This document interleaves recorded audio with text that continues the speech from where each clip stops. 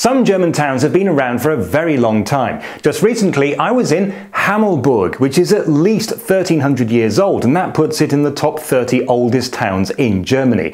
But the coolest thing there is only about 20 years old. Four statues that mysteriously appeared without anybody noticing, and to this day, nobody knows who did it. If you head over to my channel, you can watch the full video, and then if you happen to know how it was done, Please let us know, it's driving us nuts.